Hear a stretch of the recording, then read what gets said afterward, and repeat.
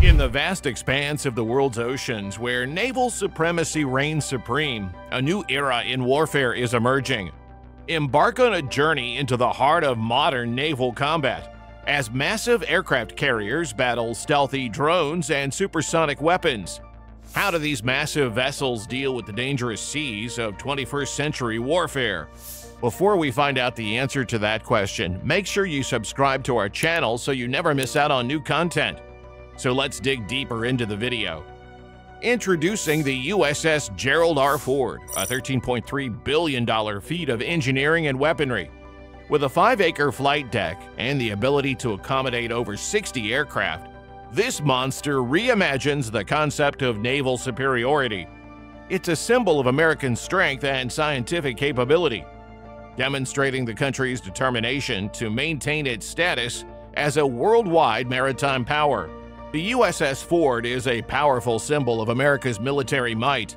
Her sheer size and cutting-edge armaments acting as a significant deterrence to China's growing naval capabilities. But in a time of swift technological development and changing risks, its scale might not be sufficient to ensure its existence.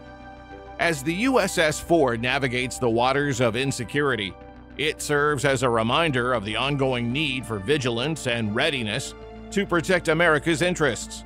It remains to be seen whether it will emerge victorious in the face of these obstacles. But one thing is certain the USS Gerald R. Ford will continue to be a symbol of American might and tenacity at sea.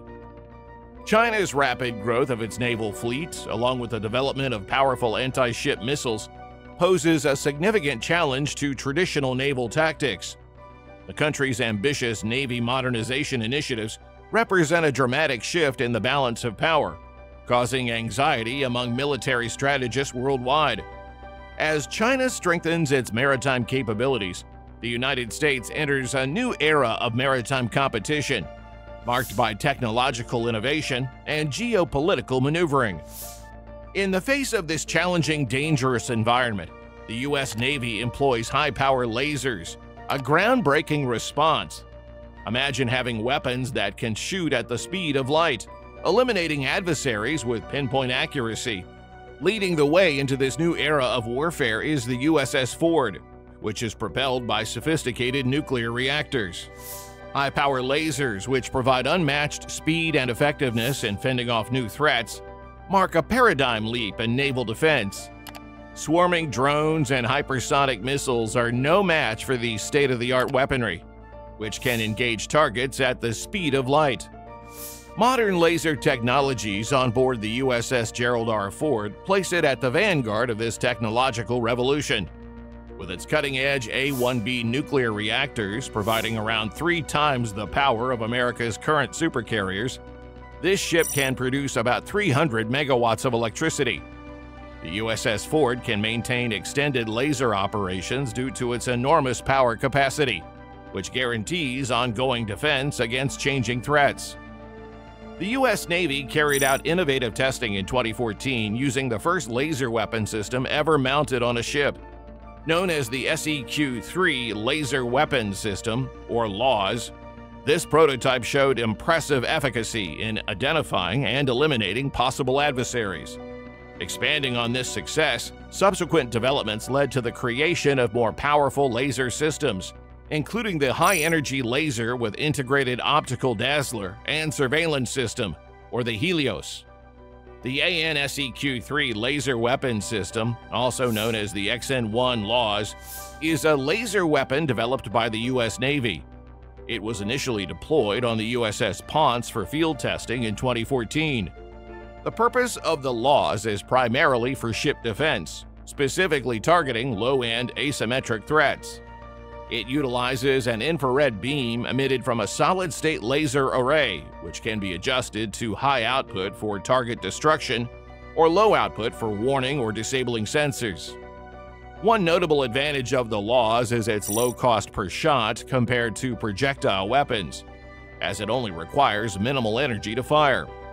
This is in contrast to traditional ordnance, which involves significant costs in manufacturing, transportation, and storage. The system is designed to engage various threats, including unmanned aerial vehicles, small boats, and other fast moving targets. The history of the LAWS dates back to a development contract awarded in 2010, with subsequent testing and refinement leading to its deployment on the USS Ponce. The Navy invested approximately $40 million in research, development, and testing of the laser weapon over six years. Commercial laser technology played a significant role in its development, with the system essentially comprising multiple welding lasers combined to converge on a target simultaneously. During deployment, the LAWS demonstrated its effectiveness against different threats, including disabling UAVs, detonating explosive materials, and incapacitating boat motors. It was declared an operational asset in September 2014, allowing ship commanders to utilize it for self defense within established rules of engagement. Despite its success in testing, the LAWS faces challenges related to its developmental nature, including issues with tracking small targets and synchronizing multiple emitters into a coherent beam. These challenges, along with the bulky nature of some components, prevented the LAWS from entering serial production. In addition to its destructive capabilities, Helios also served as a surveillance mission, further enhancing its utility in maritime operations. The system's integration into the Navy's layered defense architecture is crucial for its effectiveness in a maritime environment. While Helios is initially being installed on Arleigh Burke class destroyers, its scalable and adaptable design enables integration with other ship classes and combat systems. Future iterations of the system could potentially be deployed on a range of Navy vessels, including guided missile frigates and next generation destroyers. As the Navy prepares to conduct at sea testing of Helios in 2023, the system represents a significant step forward in the development of directed energy weapons. Its success in operational maritime environments will inform future development efforts and contribute to the Navy's evolving defense capabilities. Subsequent developments led to the creation of the Helios system, produced by Lockheed Martin under a $150 million contract with the Navy. Helios units were introduced for deployment on ships like the USS Arleigh Burke and for land based testing. This advancement represents the Navy's ongoing pursuit of direct energy weapons for maritime defense. The Navy marked another significant milestone in August 2022 when the Arleigh Burke class Preble destroyer became the first to have a permanent laser installed on it. With a 60 kilowatt power output, Lockheed Martin's Helios easily interfaces with the ship's cutting edge Aegis radar and weapons control system. With its development, the Navy's laser capabilities have advanced significantly, improving its capacity to address changing threats in practical situations. The Navy intends to keep pursuing high power laser technology in the future, with continuous work aimed at creating even more powerful laser systems. A contract to construct a 1 megawatt laser that can counter a variety of threats including drones and hypersonic missiles, was given to Northrop Grumman in July 2022. With this large scale endeavor, we can be sure that the USS Ford and its brethren will continue to lead the way in maritime defense. High power lasers are a monument to American effectiveness and ingenuity as the USS Ford navigates this new era of combat. These cutting edge weapons, with their unparalleled speed, accuracy, and efficiency, have the potential to completely change naval combat in the future and guarantee the U.S. Navy's supremacy at sea. Despite recent operations in the Red and Mediterranean seas and enthusiasm from Navy leaders about directed energy, questions arise about why lasers haven't been used to shoot down operational targets as yet. As the Director of Surface Warfare Requirements, Rear Admiral Fred Pyle is responsible for guiding the development and fielding of new surface ships and weapon systems, including lasers. Vice Admiral Brendan McLane, the Navy's top surface warfare officer, has expressed frustration with the pace of laser weapon system development, emphasizing the need to fulfill the technology's promise. However, the USS Ford is just one location for the Navy's laser program, the competition to rule the oceans has never been fiercer, with plans to develop even more potent weaponry. Lasers have the potential to drastically alter the battlefield from sea trials to permanent installations. The Navy's pursuit of technological superiority gets stronger every day as hostilities rise and opponents become more audacious. One concern, though, stands out among the laser fueled chaos.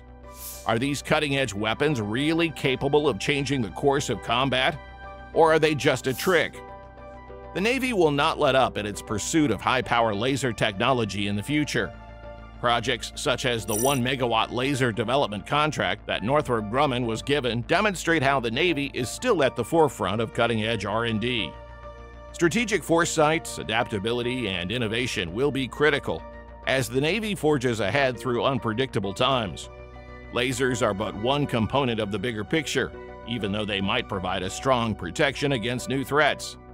To stay successful in a more competitive market, the Navy needs to keep investing in a wide range of capabilities, from unmanned systems to sophisticated sensors. In the end, individuals who welcome change and grasp its potential will shape naval warfare's future. The U.S. Navy is determined to steer towards a more secure and stable marine domain for future generations, even though the seas may not be predictable. One thing is quite evident as we come to the end of our exploration into the world of laser fueled naval warfare. The stakes are higher than ever, and innovation is more needed than ever. Will the USS Ford and its equivalents usher in a new era of maritime dominance outfitted with lasers? Time will tell. So join us as we continue to explore the ever evolving landscape of military technology. And don't forget to leave your thoughts in the comments below. Until next time, stay tuned for more groundbreaking insights from Military World. Thanks for watching.